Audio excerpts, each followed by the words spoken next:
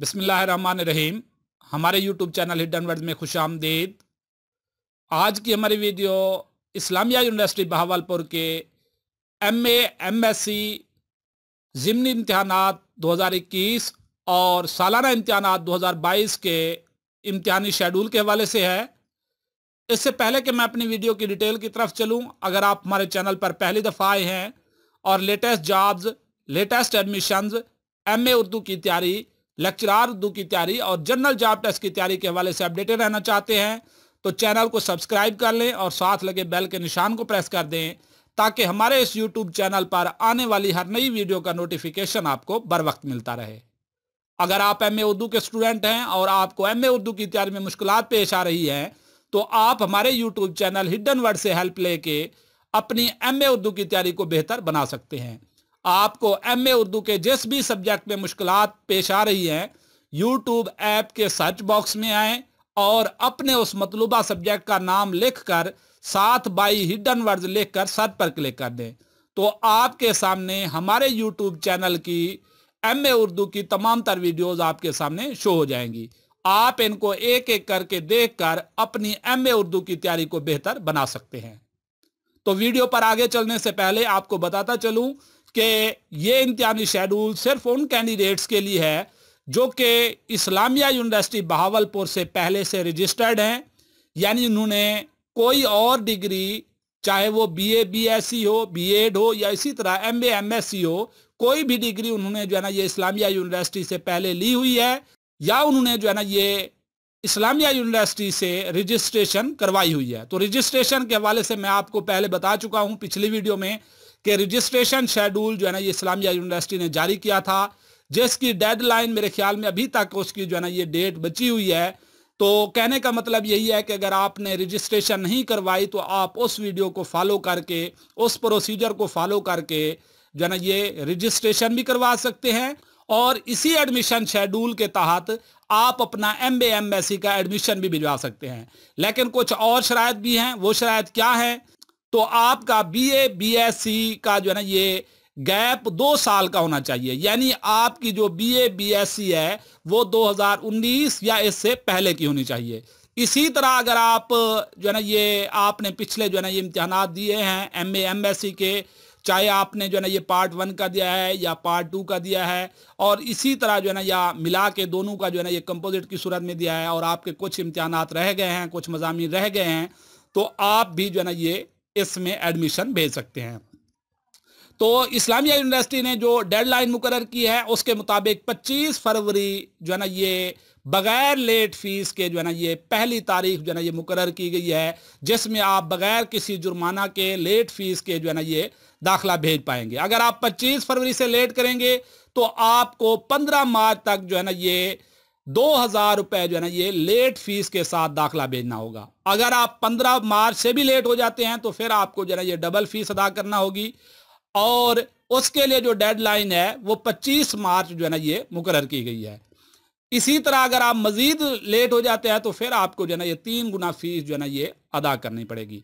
जहाँ तक फ़ीस का ताल्लुक है तो एम ए एम के वो मजामी जिनमें प्रैक्टिकल जो है ना ये सब्जेक्ट्स नहीं हैं, उनके लिए सात हज़ार रुपये जो है ना ये फ़ीस है और जिनमें प्रैक्टिकल्स हैं, उनके लिए जो है ना ये नौ हज़ार रुपये फ़ीस है। यानी सिंगल फ़ीस तो इसी तरह हो गई, लेकिन अगर आप लेट करते हैं तो सात हज़ार वाले जो है ना, दो हज़ार रुपये जुर्माने के साथ नौ हज़ार रुपये अदा करेंगे और इसी तरह नौ हज़ार वालों की जो है ना, ये ग्यारह हज़ार हो जाएगी। डबल फ़ीस की सूरत में सात हज़ार वालों का चौदह हज़ार और नौ हज़ार वालों का अठारह हज़ार हो जाएगा। इसी तरह ट्रिपल फ़ीस की सूरत में सात हज़ार वालों का जो है ना, ये इक्कीस हज़ार हो जाएगा और जो नौ हज़ार रुपये वाले हैं, यानी प्रैक्टिकल सब्जेक्ट वाले, वो तीन गुना फ़ीस के साथ जो है ना, ये सत्ताईस हज़ार रुपये जो है ना, ये पे करके अपना जो है ना ये दाखिला भेजेंगे यानी लास्ट चांस आपके पास जो है ना यही बाईस अप्रैल वाला है, उसके बाद जो है ना ये आप अप्लाई नहीं कर पाएँगे। उसके बाद वो कैंडिडेट जो कि बहावलपुर डिवीज़न के नहीं हैं, वो यूनिवर्सिटी हदूद फ़ीस की बाद में पाँच हज़ार रुपये जो है ना ये एक्स्ट्रा अदा करेंगे। यानी अगर एम का दाखिला भेज रहे हैं तो उन्हें जो है ना ये सात हज़ार रुपये एम की फ़ीस और पाँच हज़ार रुपये यूनिवर्सिटी हदूद फ़ीस जो है ना ये अदा करना होगी। और अगर वो प्रैक्टिकल के सब्जेक्ट्स में भेज रहे हैं तो उन्हें नौ हज़ार रुपये और साथ जो है ना ये पाँच हज़ार रुपये यूनिवर्सिटी हदूद फ़ीस की सूरत में जो है ना ये अदा करना पड़ेंगे। अब एक और अहम पॉइंट जो है ना उन्होंने इस दफ़ा इंक्लूड किया है, जो कि मेरे ख्याल में इस सिचुएशन को, कोविड 19 की सिचुएशन की खातिर जो है ना ये स्टूडेंट्स को शायद रिलैक्स दिया गया है। हो सकता है इसमें कोई और डिटेल भी हो तो इसके लिए उन्होंने जो है ना ये बाकी नंबर्स वगैरह भी अपने छोड़े हैं और जो है ना ये उनकी कंटेक्ट डिटेल भी होती है तो आप जो है ना उनसे रबता कर सकते हैं। मजीद आप किसी ऐसे जो है ना, ये कॉलेज या जो है ना, ये सब कैंपस से जो है ना, ये कंटेक्ट करके ये मालूम ले सकते हैं। अदरवाइज़ जहाँ से आप दाखिला देते हैं, वहाँ से भी आपको इसकी क्लैरिटी हो जाएगी।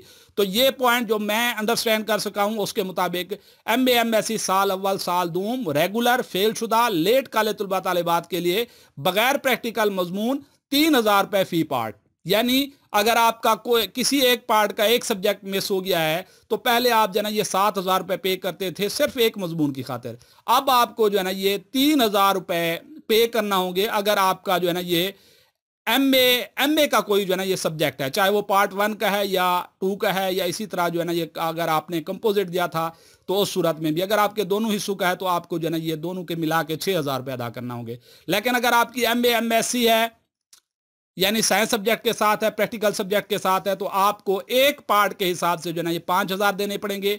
यानी आपके उसके दो सब्जेक्ट हैं, तीन सब्जेक्ट हैं तो वो मेरे ख्याल में इसी ज़मरे में जाएँगे। इसी तरह आपका पार्ट टू का कोई सब्जेक्ट फेल है तो आपको जो है ना ये दस हज़ार रुपये अदा करना पड़ेंगे। पहले जो है ना इससे कुछ ज़्यादा जो है ना ये कंडीशन थी कि जिस तरह साइंस वालों के लिए नौ हज़ार रुपये है तो ऐसी कंडीशन में अगर एक सब्जेक्ट पार्ट वन में से है और दूसरा सब्जेक्ट पार्ट टू में से है तो ऐसी सूरत में अठारह हज़ार रुपये जो है ना ये अदा करना पड़ते थे। अब प्रैक्टिकल सब्जेक्ट वालों के लिए जो है ना ये जो है ना, ये, वो बन जाएँगे दस हज़ार रुपये इसी तरह एम एजुकेशन के रेगुलर फेल शुदा लेट काले तलबा तालिबात साल अव्वल, साल दूम चार हज़ार रुपये फ़ी पार्ट जिस पार्ट में प्रैक्टिकल मजमून होगा, उस पार्ट के साथ मुबलिक दो हज़ार रुपये प्रैक्टिकल फ़ीस इजाफी अदा करना होगी। यानी ये एम एजुकेशन के जो है ना, ये प्रैक्टिकल सब्जेक्ट भी होते हैं। तो जितने में, जिस पार्ट में आपका प्रैक्टिकल सब्जेक्ट होगा तो उसके लिए जो है ना, ये आपको दो हज़ार रुपये जो है ना, ये इजाफी फ़ीस अदा करना होगी। बाकी ये पहला, दूसरा और तीसरा पॉइंट में पहले पहले वीडियो के स्टार्ट में ही आपको बता चुका था। उसके बाद पे, के पेपर जो है ना ये ऑनलाइन होंगे या जो है ना ये फिजिकली होंगे। तो अगर गवर्नमेंट की तरफ़ से रिवायती इम्तिहान की इजाज़त मिली तो इम्तिहान भावलपुर हासिलपुर चिश्तियाँ डैरम वाला बावल नगर हारूनाबाद, फोर्ट अब्बास, लियाकतपुर, खानपुर रहीम यार खान, सादकाबाद अहमदपुर शिरकिया, राजनपुर के मुकर करदा इम्तिहानी मराकज में मुनद होगा। यानी ये फ़िज़िकल की सूरत में। इनमें से किसी भी इम्तिहानी मरकज में इम्तहान देने के ख्वाहिशमंद उम्मीदवार वाज तौर पर अपने दाखिला फरम के सफ़े अव्वल पर मुख्त शुदा खाने में शहर का नाम दर्ज करेंगे। तो ये सेंटर जो है ना, ये जब आप एडमिशन फार्म फिल करते हैं तो आपको जो है ना, ये लिखना होता है। तो उधर जो जो भी सेंटर आप चूज़ करना चाहते हैं तो आप उधर जो है ना ये लिखेंगे। ये तकरीबन हर तहसील में जो है ना एक एक एग्जामिनेशन सेंटर होता है, जिसमें आप जो है ना ये पेपर्स के लिए अपेयर हो सकते हैं। इसी तरह रेगुलर तलबा तलबात अपना इम्तहानी दाखिला फार्म ऑनलाइन भेजने के लिए अपने मुतल कॉलेज से रुजू करें। यूनिवर्सिटी की तरफ़ से कॉलेज के यूज़र आई और पासवर्ड फ्राहम किए जा चुके हैं। मुतल कॉलेज के प्रिंसिपल उम्मीदवार के दर्ज, जैल कवायफ की तस्दीक शुदा नकूल। ऑनलाइन प्रिंट शुदा दाखिला फार्म के साथ मुंसलिक करके कंट्रोलर इम्तहान को इरसा इस्तेमाल करेंगे। यानी जिन्हें रेगुलर भेजना है, उनका अपना कोई काम नहीं है, वो सारी डॉक्यूमेंट्स और सारी रिक्वायरमेंट्स जो है ना, उन्हीं को देंगे। अपने कॉलेजेस को या कोई कैंपसेज हैं तो उनको। तो वो उसके साथ एफिलिएशन लेटर और इसी तरह रजिस्ट्रेशन कार्ड जो कि हर स्टूडेंट का होगा और शनाख्ती कार्ड हर स्टूडेंट की copy B A B S C या उसके मसावी इम्तहान, उसका सर्टिफिकेट भी। और फेल अगर एक सब्जेक्ट फेल है या सप्ली आ गई है उसमें तो वो भी जो है ना, वो साथ अटैच करेंगे। तो तमाम कॉलेजेस के प्रिंसिपल से दरखास्त है कि यूनिवर्सिटी के अकाउंट ऑफ़िस से अपने कॉलेजेस की क्लियरेंस पेश की जमा करवाएँ। क्लियरेंस और ऑनलाइन चलान के बगैर दाखिला फार्म काबिल कबूल ना होगा। तो इनको पहले क्लियरेंस करवानी पड़ती है, पिछले जो बकाया जात होते हैं, उनकी क्लैरिटी करवा के बाद में जो है ना ये दाखिला भेजना होता है। तो ये उनको जो है ये इंस्ट्रक्शन दी गई है। प्राइवेट फेल शुदा उम्मीदवार यूनिवर्सिटी की वेबसाइट से दाखिला फार्म व फ़ीस चालान डाउनलोड कर सकते हैं। www.iub.edu.pk ऑनलाइन चालान के अलावा कोई दीगर चालान काबिल कबूल ना होगा। तो पिछले तीन चार सालों से यूनिवर्सिटी ने जो है ना ये रिस्ट्रिक्शन लगा दिया है कि अब की बार नेक्स्ट से आप जो भी चालान फॉर्म जो है ना ये करेंगे तो आपको जो है ना ये ऑनलाइन चालान फॉर्म जनरेट करना होगा।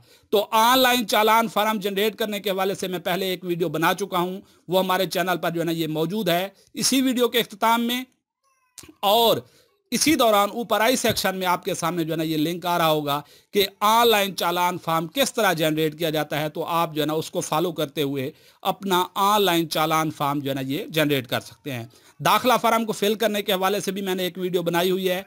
इसी वीडियो के अख्ताम पर कोशिश करूँगा कि उसका लिंक भी डाल दूँ तो आप उसको देख कर जो है ना ये दाखिला फार्म जो है ना ये फिल कर सकते हैं। Challan form E portal dot I U B dot E D U dot P K से डाउनलोड किया जा सकता है। तमाम तलबा तलबात को हिदायत की जाती है कि वो दाखिला फराम पर mobile number email WhatsApp number लाजमी तहरीर करें। यानी ये जो भी चीज़ें हैं, आपने जो है ना ये सारी जो है ना ये साथ जो है ना ये लिखनी है ताकि कंटेक्ट कर सकें वो आपसे किसी भी जो है ना ये शिकायत की सूरत में या आपका कोई भी जो है ना ये एतराज़ वगैरह होता है तो वो आपके साथ जो है ना ये कर सकते हैं। बाकी कुछ नोट लिखे हुए हैं, ये भी आप जो है ना ये खुद से रीड कर लीजिएगा। तो मजीद रजिस्ट्रेशन के हवाले से भी मैंने पीछे आपको बताया है कि उसमें आपको बताया था कि आप प्राइवेट कैंडिडेट के तौर पर कौन कौन से सब्जेक्ट जो है ना ये इस्लामिया यूनिवर्सिटी से कर सकते हैं। अगर आप सब्जेक्ट के हवाले से जानना चाहते हैं तो इसी वीडियो के अख्ताम पे रजिस्ट्रेशन वाली वीडियो का भी लिंक डाल दूँगा। तो आप उसको वॉच करके सब्जेक्ट के बारे में भी जान सकेंगे कि आप बतौर प्राइवेट कैंडिडेट आप इस्लामिया यूनिवर्सिटी बहावलपुर से कौन कौन से सब्जेक्ट जो है ना ये कर सकते हैं। तो यही थी हमारी आज की वीडियो जो कि इस्लामिया यूनिवर्सिटी बहावलपुर के इम्तिहानी शेड्यूल, पहला सालाना इम्तिहान 2022 और ज़िमनी इम्तिहान 2021 के हवाले से थी। उम्मीद है आप लोगों को आज की वीडियो पसंद आई होगी। अगर वीडियो पसंद आया तो वीडियो को लाइक कर दें और अगर आप चैनल पर पहली दफ़ा आए हैं और हमारे चैनल के हर अपडेट के साथ अटैच रहना चाहते हैं तो चैनल को सब्सक्राइब करके साथ लगे बेल के निशान को प्रेस कर दें ताकि हमारे इस यूट्यूब चैनल पर आने वाली हर नई वीडियो का नोटिफिकेशन आपको बर वक्त मिलता रहे। थैंक्स फॉर वॉचिंग अल्लाह हाफिज़।